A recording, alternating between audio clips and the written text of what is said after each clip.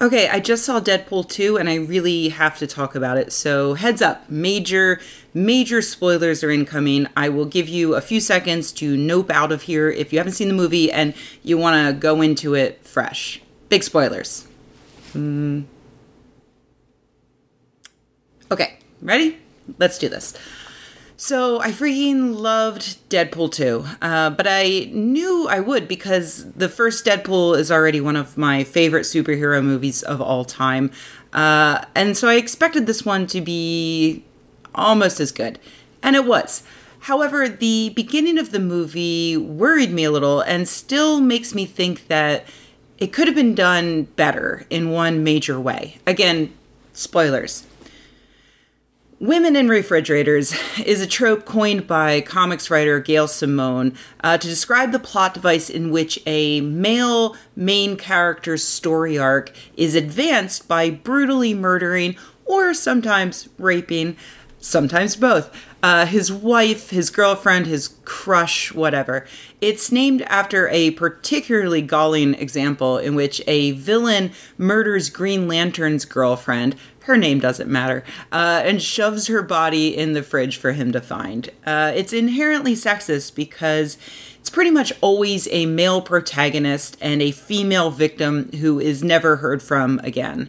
She literally only exists to die so that the protagonist can have some angst and momentum. I really enjoy it when films subvert this narrative. One example is John Wick, in which he does lose his wife at the start of the film, but that's not what drives the movie's storyline. In fact, it's his dog that gets put in the refrigerator. Uh, it's the exact same trope, but instead of a woman, it's a dog. Uh, I hate seeing an animal hurt in a film, but I honestly love that. Uh, Deadpool 2 opens with Deadpool's girlfriend from the first film, Vanessa, getting murdered by a criminal who Deadpool had been tracking down. This is classic refrigeration. Uh, she dies, which tears Deadpool apart, gives him nothing left to live for, provides the impetus for him to build himself back up, to learn what family means, why life is worth living. Because of that, I was disappointed, and considering how self aware Deadpool is, I thought that they might immediately undo her death somehow to subvert it. Uh, here's the surprising thing though the writers of this film apparently weren't as self aware uh, about comics as Deadpool usually is. And honestly, it's probably because they're men uh, in an interview with Vulture, Rhett Reese and Paul Wernick admitted that they had never even heard of the trope and hadn't considered it at all. In a way, it's understandable because they're human and they can't be expected to know everything. But in another way, it's a bit unforgivable for the writers of Deadpool to miss such a huge trope. Deadpool is all about uh, about highlighting tropes and making fun of them. Uh, in case you don't know, Deadpool's whole thing is that he breaks the fourth wall and is fully aware that he's in a comic book, or in this case, a comic book movie. He tells Josh Brolin's Cable that he's so dark he should be in the DC universe, and then calls him Thanos because Brolin also plays that character in Infinity Wars, just to name two small examples.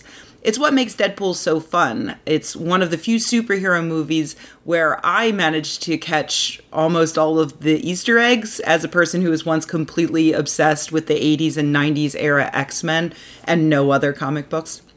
Uh, it really feels like if they had had a single woman look at the script, uh, that could have helped them avoid a lazy sexist trope though then they might have had to rewrite the entire thing. Uh, as an aside, I am always available for punching up a script. For example, in the first Deadpool, when Deadpool and Weasel walk into the strip club, Weasel asks Deadpool how he knew Vanessa worked there, and Deadpool basically says it's been it's because he was following her around or whatever, but he should have said because Stan Lee is the announcer here. See? I can help. Call me for Deadpool 3. Anyway, back to Deadpool 2. Vanessa gets put in the fridge, uh, which was disappointing and not surprising at all because it's such a trope. To I think a lot of maybe women, particularly who watch this film, that death doesn't come as a shock. Not as much of a shock as killing off all of the characters in their X Force team, except for Domino.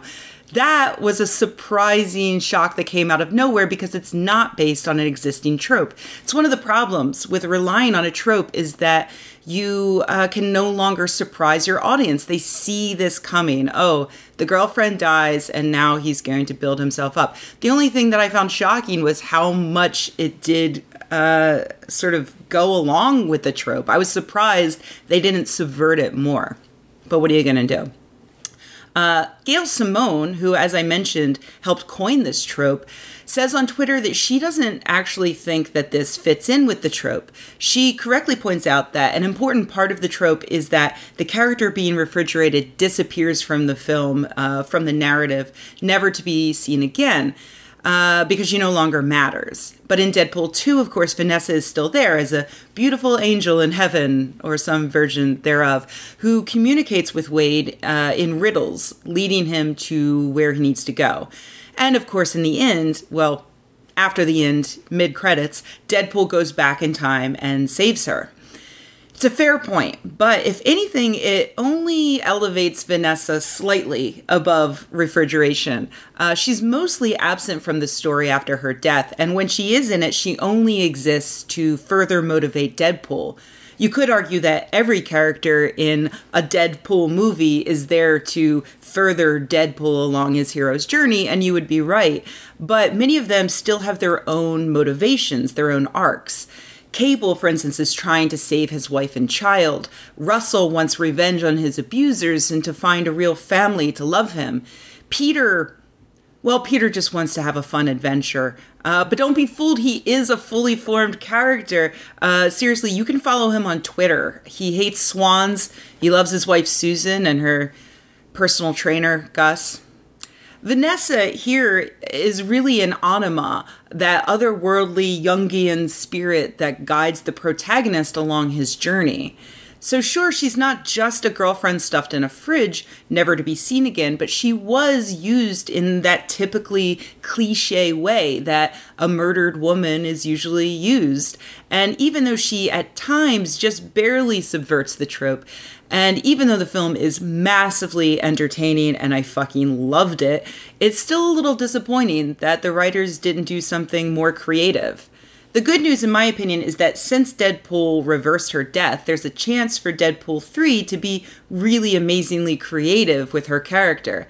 I want to see Deadpool go through some shit with Vanessa still beside him for once. I mean, she doesn't need to be a superhero, though that could still happen since the writers say that they could finally turn her into Copycat, who can take on other mutants' abilities. Honestly, that would be awesome. I would love to see her kicking ass. But I also think it would be awesome for Deadpool and Vanessa to start a family. A weird, fucked up family, but a family. My favorite part of the first Deadpool was how strong and surprisingly healthy their relationship was. And superhero films never really explore that sort of thing without well, without killing the wife and child to advance the storyline. Oh, wait, that happened to Cable, didn't it? Probably should have mentioned that. Cable's wife got refrigerated and also reversed at the end.